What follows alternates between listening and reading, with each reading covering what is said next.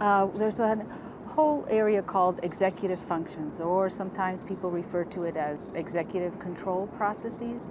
And these are uh, the skills that are more the how to skills. So, uh, more how you approach tasks and how you organize uh, things. So, it's not um, like language or reading or math, but it's really more like how you do things or how you solve problems. It uh, has to do with uh,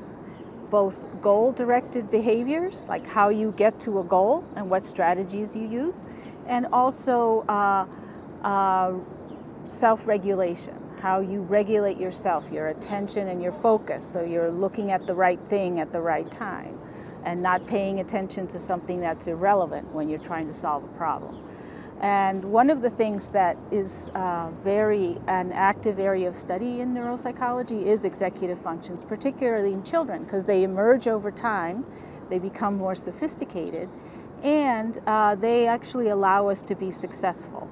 Um, and so we find that individuals uh, with a range of intelligence, for example, if their executive functions are impaired, they're more likely to have very important problems in life, so to speak, uh, because they can't get their work done or uh, they don't uh, follow directions, even though they may be able to do whatever it is, the task.